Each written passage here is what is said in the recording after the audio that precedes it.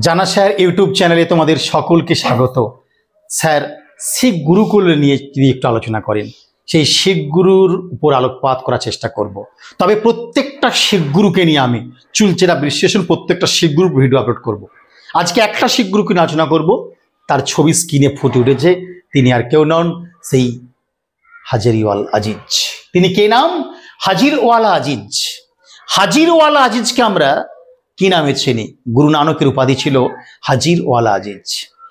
সেই সুলাখিন, যার স্ত্রী ছিলেন, জীবন সঙ্গিনী ছিলেন সুলাখিন, আর যার দুই পুত্র ছিল, প্রত্যেকের নাম দুটো একটু মনে রাখবে, সেই লক্ষ্মীদাস এবং শ্রীচন্দ্র। এই নানকের দুই পুত্রের নাম, ছোট পুত্র লক্ষ্মীদাস, বড় পুত্র শ্রীচন্দ্র। আর সুলাখিন ছিল তার স্ত্রী। উপাধি নিয়েছিল হাজির ওয়াল আজিজ। সেই তিনি আজকে আমাদের আলোচ্য নায়ক, গুরু নানক। যিনি কর্তারপুরে, বর্তমান পাকিস্তানে তার মঠটা নির্মাণ করেছিলেন। তিনি প্রথম গুরু কি লঙ্গরখানা তৈরি করেছিলেন, যে লঙ্গরখানা পরবর্তীকালে জনপ্রিয়তা পেয়েছিল আমার এক ভাইটা। আর সেই গুরু নানকের হাত ধরে শুধু শিখ ধর্ম প্রতিষ্ঠা হয়েছে তা নয়, কবিরের সঙ্গে গুরু নানকের বিখ্যাত একটা মিল পাই আমরা, দুজনের সংসার ধর্ম ত্যাগ করেননি। কিন্তু দুজনের অনুগামী ছিল প্রচুর গৃহত্যাগ করে, সংসার ধর্ম ত্যাগ করেননি। সংসারে থেকেই সে একেশ্বরবাদ প্রচার করে গেছেন। হিন্দু মুসলমানকে এক করার চেষ্টা করেছেন, তাই ধর্ম বিভেদকে তিনি মুছিদের চেষ্টা করেছিল। দেখবে একটা কবিরপন্থী হয়েছে গৃহত্যাগ করেনি। আর একটা শিখ ধর্ম তৈরি হয়েছে গুরু নানককে কেন্দ্র করে। দুজনেই কিন্তু সংসার ধর্মে থেকে ভক্তিবাদকে তিনি এগিয়ে নিয়ে যাওয়ার চেষ্টা করেছিল। মনে রাখবে, সেই কবির দাস এবং সেই নাম হাজির ওয়ালা আজিজ, যাকে আমরা গুরু নানক চিনি। তো গুরু নানকের দিকটা আজকে নিয়ে আলোচনা করব। শিখদের ধর্মীয় গুরু এবং তাদের কার্যাবলী আজকে রাখার চেষ্টা করেছি। প্রত্যেকে খেয়াল করবে। শিখদের প্রত্যেকটা ধর্মীয় গুরুর জাস্ট কত সালে তারা শিখ ধর্মীয় গুরু হতে পেরেছিল সেটা উল্লেখ করব আর দুই একটা পয়েন্ট করে বলে যাব। গুরু নানকের মতো প্রত্যেকটা শিখ গুরুকে নিয়ে আসব এই জানাসার ইউটিউব চ্যানেলে নতুন দিগন্ত তোমাদের সামনে তুলে ধরার চেষ্টা করব, মনে রাখবে। এবং ভালো করে বারবার করে তোমরা শুনবে, তাহলে বুঝতে পারবে এই ভিডিওর মধ্য দিয়ে তোমাদের কতটা ইতিহাসকে সমৃদ্ধ করতে পারছি আমরা। যাই হোক, সেই গুরু নানকের জন্ম হয়েছিল পাকিস্তানের তালবন্দি গ্রামে, লাহোরের নিকট তালবন্দি গ্রামে। কবে? চোদ্দশো উনসত্তর সালে জন্ম জন্ম হয়েছিল তার। কবে জন্ম হয়েছিল? চোদ্দশো উনসত্তর সালে জন্ম হয়েছিল। কার জন্ম হয়েছিল? গুরু নানকের। সেই জন্মস্থান এখন নানকানা সাহিব নামে পরিচিত। নানকানা সাহিব নামে পরিচিত গুরু নানকের জন্মস্থান। তালবন্দি গ্রামে জন্ম হয়েছিল খত্তি পরিবারে। মৃত্যু হয়েছিল কর্তারপুরে, মনে রাখবে সবাই, সালটা পনেরোশো আটত্রিশ। অর্থাৎ যখন দিল্লিতে চলছে হুমায়ুন রাজত্বকাল, হুমায়ুনের আমলে কিন্তু তার মৃত্যু হচ্ছে পনেরোশো আটত্রিশ সালে, মনে রাখবে। আর চোদ্দোশো উনসত্তর যখন জন্ম হচ্ছে, চোদ্দোশো একান্ন থেকে পনেরোশো ছাব্বিশ লোদি বংশ। তাই লোদি বংশের সমসাময়িক, লোদি বংশ যখন দিল্লিতে জন্ম হচ্ছে গুরু নানকের মৃত্যু হচ্ছে মুঘল সম্রাট হুমায়ুনের আমলে ফিফটিন থার্টি এইট মনে রাখবে। তিনি কি করলেন? রাভি নদীর তীরে সেই কর্তারপুরে তার প্রথম মঠটা বা ডেরাটা স্থাপন করেছিল। সেখান থেকেই তিনি, অর্থাৎ কর্তারপুর থেকেই তিনি রাবি নদীর তীর থেকেই তিনি ধর্মোপদেশ দেওয়া শুরু করেছিল। মনে রাখবে এটা। তার পিতা ছিলেন কালুচাঁদ। নামটা ভালো করে মনে রাখবে। মাতা ছিলেন তৃপ্তা দেবী। গুরু নানকের পিতামাতার নামটা ভালো করে জানবে। তাই গুরু নানকের পিতা কালুচাঁদ, মাতা ছিলেন তৃপ্তা দেবী মরেক ভাইটা লোদি বংশের সমসাময়িক বললাম এবং শাসক হিসাবে যদি বলি আমরা, অবশ্যই সিকান্দার লোদির নাম মনে রাখব। বাবরের যেমন তিনি কাছের ছিলেন, আর হুমায়ুনের কাছের এবং হুমায়ুন আমল তিনি মারা যান। তাই কোন দুই মুঘল সুমারির সমসাময়িক ছিল, উত্তর কিন্তু বলেই দিলাম বাবর হুমায়ুন। আর কোন সুলতানের সময় সমসাময়িক ছিলেন, উত্তর কিন্তু বলেই দিলাম সিকান্দার লোদি। যাই হোক বাবরের যখন সেনাবাহিনী সৈয়দপুর দিয়ে আসছে, সেই সেনাবাহিনীর দ্বারা তিনি যুক্ত হলেন। অর্থাৎ দেখা হলো তার সঙ্গে। গুরু নানকের সঙ্গে বাবরের সেনাবাহিনীর সাক্ষাৎ হলো বা যুক্ত হলো। কিন্তু বাবরের সেনাবাহিনীর কর্মকাণ্ড অ্যাক্টিভিটি একেবারেই ভালো লাগেনি কিন্তু গুরু নানকের। যাই হোক সেই বাবরের সেনাবাহিনীকে পাপের মিছিল বলছেন সেই জন্য গুরু নানক। তাদের কর্মকাণ্ড অ্যাক্টিভিটি একেবারেই ভালো ছিল না। তারা অনেকটাই মিথ্যা প্রচার করে যোজ্জার মুল্লুক তার করে গিয়েছিল। যেটা নানক কিন্তু মেনে নিতে পারেনি। তাই পাপের মিছিল বলছে বাবরের সেনাবাহিনীকে গুরু নানক, মনে রাখবে এটা। শিখ হলো শিষ্য শব্দের একটা অপভ্রংশ। পরবর্তীকালে এটা একটি ধর্ম হয়ে জনপ্রিয়তা লাভ করছে। তাই শিখ শব্দের অর্থ হলো শিষ্য। এই শিষ্য শব্দের একটা অপভ্রংশ, মনে রাখবে এটা। এবারে আসি নেক্সট প্রশ্ন। কোন জায়গাতে আসব? নেক্সট টপিকে দেখো তোমার ছবি ফুটে উঠেছে, প্রত্যেকে দেখে নাও। তোমরা দেখতে পাচ্ছ। হ্যাঁ। এই গুরু নানককে একজন পয়গম্বর হিসাবে আমরা বিবেচনা করছি। তার স্ত্রীর নামটা আগেই বলেছি সুলাখিন, পুত্র দুজন, জ্যৈষ্ঠ পুত্র শ্রীচন্দ্র, কনিষ্ঠ পুত্রের নাম লক্ষ্মী দাস গুরু নানক উপাধিকে নিয়েছিল? হাজির ওয়ালা আজিজ। পাঞ্জাবি ভাষায় তিনি কি করলেন? তার বিচার ব্যবস্থাকে প্রস্তুত করে দিলেন যা শব্দ নামে পরিচিত। শব্দ কি? আমরা সায়েন্স পড়তে শব্দ করি পিওর সায়েন্সে শব্দ হচ্ছে পাঞ্জাবি ভাষায় একটা বিচারধারা তৈরি করলেন শিখ ধর্মের মানুষদের মধ্যে পাঞ্জাব জুড়ে। যেটা শব্দ নয় পরিচিত মরাক ভাইটা। আর গুরুমুখী লিপিটা আনবে দ্বিতীয় শিখ গুরু যাকে আমরা আসল নাম লেহনা নামে চিনি। লেহনা কিন্তু গুরু নানকেরই একজন শিষ্য হবেন। মর্দানা এবং লেহনা দুজন শিষ্য ছিল। সেই লেহনা যিনি গুরু অঙ্গদ দ্বিতীয় শিখ গুরু অঙ্গদ যিনি গুরুমুখী লিপি কিন্তু চালু করবেন যা হোক, পাঞ্জাবি ভাষায় বিচারধারা চালু করলেন। গুরু নানক প্রথম কি করলেন? গুরু কা লঙ্গর। গুরু নানকই প্রথম কি চালু করল? গুরু কা লঙ্গর। নামে একটি বিনামূল্যে শিখ সম্প্রদায়ের রান্নাঘর শুরু করলেন সেখান থেকে প্রান্তিক মানুষদের তিনি খাবার দেওয়া শুরু করলেন, পরিবেশন দিলেন তিনি তিনি গরিব মানুষদের পাশে দাঁড়ালেন। সেই গুরু কা লঙ্গর জনপ্রিয়তা হতে পেরেছে। মনে রাখবে, এই গুরু নানক ছিলেন গণিত বিষয়ের একজন দক্ষ মানুষ। গণিত বিষয়ে তিনি পড়াশোনা করেছিলেন এবং কেরানির চাকরি করেছিলেন কিন্তু গুরু নানক প্রথম জীবনে। যেমন দেখেছিলাম রামমোহন রায় ভূমি রাজস্ব দপ্তরে চাকরি করেছেন, রাসবিহারী বসুকে দেখেছি আমরা, উত্তরাখণ্ডে দেরাদুনি চাকরি করেছেন কেরানি পদে। ঠিক তেমনি এই গুরু নানক গণিত বিষয়ে একজন দক্ষ ছিলেন, সে বিষয়ে সন্দেহ নেই। গণিতের শিক্ষক হিসাবে যুক্ত হয়েছিল গুরু নানকের জীবনে গোপাল দাস। গোপাল দাস গুরু নানককে শিক্ষা দীক্ষা, জ্ঞান, তিতিক্ষা সব দিয়েছিলেন। গণিত বিষয়ে শিক্ষক ছিলেন গোপাল দাস। গুরু নানক, লেখাপড়া শেষ করে লোদি যুগে সুলতানপুরের রাষ্ট্রীয় শস্য ভাণ্ডারে রাজস্ব বিভাগে কেরানি পদে চাকরি পেয়েছিলেন। সেই চাকরি করার পর তিনি যখন ভক্তি আন্দোলনকে এগিয়ে নিয়ে যাচ্ছেন, তিনি সর্বধর্ম সহিষ্ণুতার নীতি নিয়েছিলেন। তাই ধর্মের মধ্যে বিভেদকে তিনি মুছে দিতে চেয়েছেন মর এক ভেটা। এই গুরু নানক কি করলেন? ইসলাম ধর্মে যে সমস্ত কুসংস্কার রয়েছে, হিন্দু ধর্মে যে সমস্ত কুসংস্কার রয়েছে, সেগুলোকে আস্তে আস্তে মুছে ফেলার চেষ্টা করলেন সকল ধর্মই সমান। তাই তিনি কি বললেন? তার বিখ্যাত উক্তি, ঈশ্বর কেবল একজনই। কি বললেন? ঈশ্বর কেবল একজনই। তিনি সত্য তিনি স্রষ্টা, তার ভয় নেই, ঘৃণা নেই, তিনি কখনো বিলীন হন না। তিনি জনমৃত্যু চক্রের ঊর্ধ্বে। কে বলছেন? গুরু নানক। তাই কি বললেন? ঈশ্বর কখনো বিলীন হয় না। তিনি তো সত্য, তিনি শ্রেষ্ঠ, তিনি স্রষ্টা। তাকে আবার আমরা কেন বিভিন্ন নামে ডাকবো? তিনি তো একজনই, তার তো ঘৃণায় তার ভয় নেই। তিনি সকল মানুষের মধ্যেই রয়েছে, তাই না? স্বামীজি যেমন বলেছিলেন, সেই জীবে প্রেম করে যেই জন, সেই জন সে বেশি ঈশ্বর মানুষকে ভালোবাসলে তার মধ্যেই ভগবানকে পাওয়া যায়, আল্লাহকে পাওয়া যায়, গডকে পাওয়া যায়। এবং তিনি এই গুরু নানক প্রথম নারীদের সমানভাবে মুখ্য অধিকারকে ছড়িয়ে দিয়েছিলেন। মহারাগ ভিটা আস্তে আস্তে করে তার অ্যাক্টিভিটি বেরোলো। গুরু নানকের শিষ্য দুজনকে আমরা বলেই দিলাম, একজন লহনা আর একজন মর্দানা। এই লহনায় হলেন দ্বিতীয় শিবগুরু, যিনি পরবর্তীকালে গুরুমুখী লিপি কিন্তু চালু করবে। মরাক বেইটা এই গুরু নানকের ভক্তিবাদক গুরু নানকের কয়েকজন মুসলিম শিষ্যের নাম লামল্যেই নয়। পানিপথের, হরিয়ানার পানিপথের শেখ ফরিদ। গুরু নানকের একজন মুসলিম শিষ্য সন্তের নাম শেখ ফরিদ। আর একজন নাম নাম বললেই নন, শেখ ইব্রাহিম। সে শেখ ইব্রাহিম, শেখ ফরিদ ছিল গুরু নানকের দুজন মুসলিম শিষ্য মরাক ভাইটা।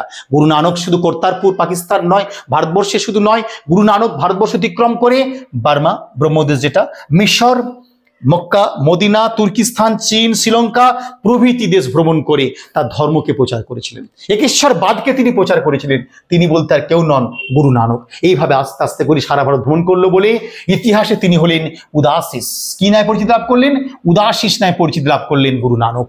কোন ভক্তি সাধককে উদাসীস বলা হতো এই গুরু নানক। কোনো ধর্মীয় গ্রন্থ নানক বিশ্বাস করতেন না। যে মানুষের মধ্যেই তো ভগবান রয়েছে, আবার ধর্মগ্রন্থ কেন প্রয়োজন?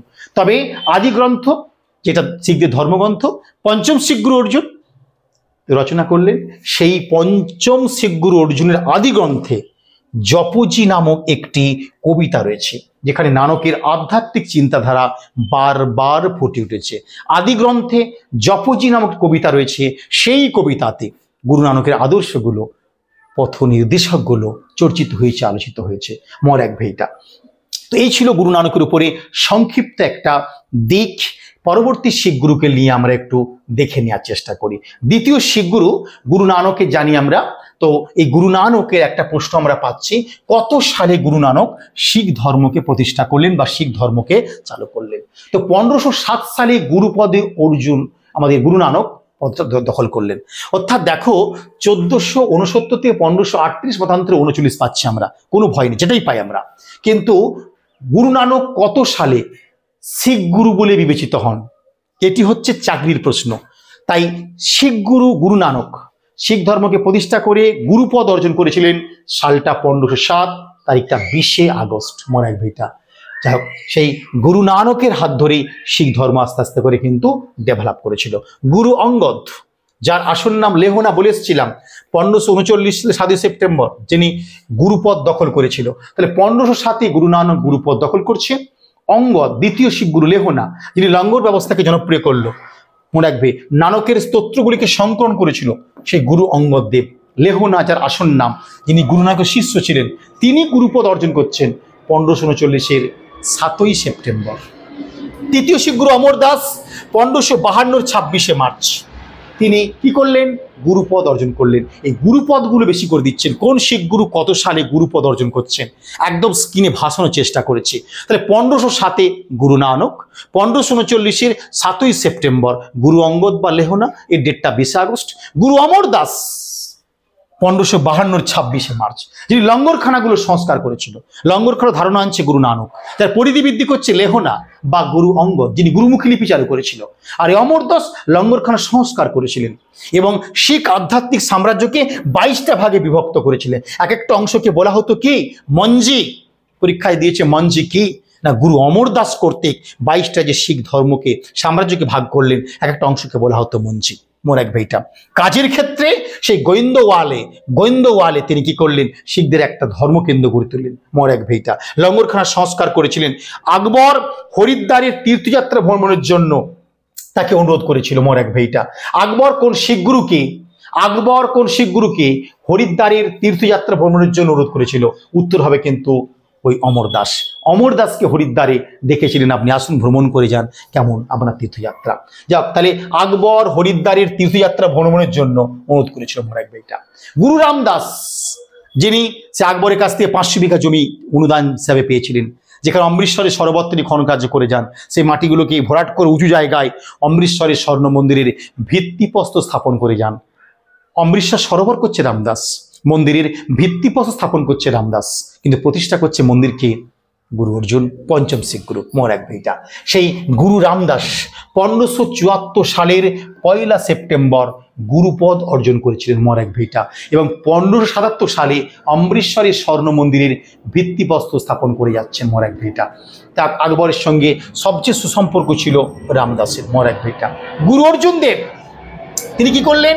পনেরোশো একান্ন সালের পয়লা সেপ্টেম্বর মোর এক বেটা পনেরোশো একান্ন সালের আমাদের পনেরোশো এটা একাশি সাল করবে। পনেরোশো একাশি সালের পয়লা সেপ্টেম্বর তিনি কিন্তু গুরুপদ অর্জন করেছিলেন। পনেরোশো একাশি ফিফটিন এইটটি ওয়ানের পয়লা সেপ্টেম্বর অর্জুন দেব স্বর্ণ মন্দিরের প্রতিষ্ঠা করলেন এবং গুরুপদ অর্জন করলেন। এবং গ্রন্থ সাহেব যেটা বারবার বলে গেলাম, গ্রন্থ সাহেবকে ধর্মগ্রন্থ আকারে রূপ দিয়েছিল কিন্তু আর কেউ নন গুরু অর্জুন দেব। এবং এই যেটা বলেছিলাম যে গুরুর উদ্দেশ্যে উপার্জনের একের দশাংশ দেয়া চালু করলেন। আপনি দশ টাকা ইনকাম করলেন এক টাকা গুরুর উদ্দেশ্যে দিয়ে যান। লঙ্গরখানায় হোক বা গুরু নানকের উদ্দেশ্যে হোক, এটা কিন্তু চালু করে যাচ্ছে কে? গুরু অর্জুন দেব। এবং কি করলেন? জাহাঙ্গীরের সমসাময়িক স্বর্ণ মন্দির নির্মাণ করছেন তিনি। যখন কাজ শেষ হচ্ছে, তখন কিন্তু জাহাঙ্গীর চলে আসছে গুরু অর্জুন আমলে। এবং সেই জাতি স্বর্ণ মন্দিরে জাতি, বর্ণ, ধর্ম নির্বিশেষে সকলের জন্য খুলে দিয়েছিল। তাই স্বর্ণ মন্দির শুধু শিখরা নয়, সাধারণ যে কোনো ধরনের মানুষ আসতে পারবে। সেটা খুলে দিল কে? অর্জুন দে ভালো করে মহারাগ ভাইটা এবারে আসি হরগোবিন্দ মরাক ভাইটা। তিনি ষোলোশো ছয় সালে গুরুপদ অর্জন করেছিল। ষোলোশো ছয় সালের পঁচিশে মে তৈরি করল মানে গুরুপদ অর্জন করল হরগোবিন্দ সিং, যিনি অকাল তকত সেই শিখদের প্রধান সিংহাসন, অকাল তকতের নির্মাতা কে হরগোবিন্দ, যিনি ইতিহাসে কিনায় পরিচিত? নামটা মনে রাখবে, সাচ্চা বাদশাহ। একের পর এক লোহগড় দুর্গ কোন শিখগুরু সংরক্ষিত করেছিল? সেই ষষ্ঠ শিখগুরু হরগোবিন্দ। সাচ্চা বাদশাহে পরিচিত কে? হরগোবিন্দ। ষোলোশো ছয় সালে তিনি জাহাঙ্গীরের আমলে শিখ পদে বসছেন হরগোবিন্দ। যে হরগোবিন্দকে গোয়ালিয়র দুর্গে বারো বছর বন্দি রেখেছিল জাহাঙ্গীর। মরাক ভাইটা তাহলে গুরু তেগ বাহাদুরকে আমরা দেখেছি। গুরু তেগ বাহাদুরকে হত্যা করেছিল ঔরঙ্গজেব ষোলোশো পঁচাত্তর সালে। আর কোন শিখ গুরুকে গোয়ালিয়র দুর্গে বারো বছর বন্দি রাখা হয়েছিল, জাহাঙ্গীর রেখেছিল, এই হরগোবিন্দকে মরাক ভাইটা। এটা আমি উল্লেখ করে দিয়েছি, ভালো করে দেখবে এটা। এবং কর্তারপুরে যুদ্ধ হয়েছিল সাজানের সঙ্গে এই হরগোবিন্দের মোর এক ভিটা। নেক্সট সপ্তম গুরু গুরু হর রায়। তিনি ষোলোশো চুয়াল্লিশ সালে থার্ড মার্চ গুরুপদ অর্জন করল। শিখদের গুরু সপ্তম হর রায় ষোলোশো চুয়াল্লিশে থার্ড মার্চ হয়েছিল। মুঘলদের সঙ্গে তিনি যুক্ত ছিলেন এবং সবচেয়ে কম বছর বয়সে তিনি গুরুপদে আসীন হয়েছিল মোর এক ভিটা। নেক্সট প্রশ্ন আসছে, অষ্টম শিখ গুরু। কে লিখেছিলেন? হরকিষান অষ্টম শিখ গুরুর নাম কি ছিল? হরকিষান তিনি কি করল? গুরুপদ অর্জন করছেন ষোলোশো একষট্টি সাল। ষোলোশো একষট্টি সালে সিক্স অক্টোবর ষোলোশো একষট্টির সিক্স অক্টোবর তিনি তিনি বলতে কি? হরকিষাণ গুরুপদ অর্জন করলেন। এই গুরুপদগুলো খেয়াল করবে ভীষণ ইম্পর্টেন্ট এবং অল্প বয়সে মৃত্যু হলো কোন শীঘ্র উত্তর হবে হরকিষাণ হরকিষান হোক, তাই কিন্তু ঔরঙ্গজেব দিল্লিতে ডেকে পাঠিয়েছিল। কিন্তু তিনি আসতে পারেননি। বসন্ত রেগে তিনি শেষ পর্যন্ত মারা যান। তাই কোন শিখ গুরু বসন্ত রেগে মারা যান, এটা রেলের গ্রুপটি থেকে আমি ধার নিয়েছিলাম। ভালো একটা প্রশ্ন কিন্তু। আসছে তেগ বাহাদুর, নবম শিখ গুরু। ষোলোশো পঁয়ষট্টির বিশে মার্চ। ষোলোশো পঁয়ষট্টির বিশে মার্চ তিনি শিখ গুরু গ্রহণ করেছিল। দেখো, এখানটা ষোলোশো একষট্টি সালে দায়িত্ব নিচ্ছে, এখানে ষোলোশো পঁয়ষট্টি সাল। এই যে দায়িত্বটা খেয়াল করবে, এবং ষোলোশো চৌষট্টিতে মারা যাচ্ছে ইনি দায়িত্ব নিচ্ছে পঁয়ষট্টিতে। এই জন্য লিখে দিয়েছি ব্যাকেটে আমি, এক বছর কিন্তু গুরুপদ খালি ছিল। ঔরঙ্গজেব তাকে ডেকে পাঠাই, ইসলাম ধর্ম গ্রহণ করতে বলেন, তিনি গ্রহণ করেননি। শেষ পর্যন্ত তাকে হত্যা করা হলো। এবং কি বলেছিল? সির দিয়া, স্বর না দিয়া। আমাকে হত্যা করে ফেলুন, তো মাথা নত করব না। শেষ পর্যন্ত ঔরঙ্গজেব তাকে হত্যা করল, এই গুরু তেগ বাহাদুরকে সেই হত্যার প্রতিশোধ নেওয়ার জন্য ষোলোশো নিরানব্বই সালে খালসা বাহিনী গ্রহণ করেছিল গুরু গোবিন্দ সিং সেই মোরাক ভেইটা। ষোলোশো নিরানব্বই সালে খালসা বাহিনী গ্রহণ করলেন। তিনি ছিলেন শেষ শিখ গুরু। তিনি বলতে কে? না, গুরু গোবিন্দ সিং। তার আত্মজীবনীমূলক বইয়ের নাম বিচিত্র নাটক। বিচিত্র নাটক কোন শিখ গুরুর আত্মজীবনীমূলক বইয়ের নাম গুরু গোবিন্দ সিং, যিনি ষোলোশো নিরানব্বই সালে খালসা বাহিনী গ্রহণ করেছিল। তিনি ষোলোশো পঁচাত্তর সালে মোর একভি এগারোই নভেম্বর তারিখে তেগ বাহাদুরের মৃত্যুর পর দায়িত্ব নিয়ে ফেলছেন। ষোলোশো পঁচাত্তর, এগারোই নভেম্বর যেদিন থেকে হত্যা করা হলো, শিখ পদ যেদিন খালি হলো সেদিন দায়িত্ব নিচ্ছেন কে? গুরু গোবিন্দ সিং। তো শিখ গুরু, দশম শিখ গুরু গুরু গোবিন্দ সিং পঞ্চকয়ের সূচনা করেছিল মরাকবে এবং পাহুল প্রথা বা দীক্ষা প্রথা চালু করেছিল। তিনি প্রথম শিখদের মধ্যে সর্বশিখবাদ বা প্যান সিকিজম আদর্শ প্রচার করেছিলেন। তিনি আর কেউ নন গুরু গোবিন্দ সিং। আজকে পর্যন্ত রইল। প্রত্যেকে চ্যানেলটা সাবস্ক্রাইব করবে, বন্ধুদের শেয়ার করবে লাইক করবে। আশা করি মন দিয়ে শুনবে, বারবার করে শুনবে, শিখদের গুরুপদগুলো ক্লিয়ার হবে, গুরু নানক সম্পর্কে তোমাদের ক্লিয়ার হবে। পরবর্তীকালে নানকের মতো প্রত্যেকটা শিখ গুরু জীবনীগুলো নিয়ে আসব। ভালো লাগবে। Best of luck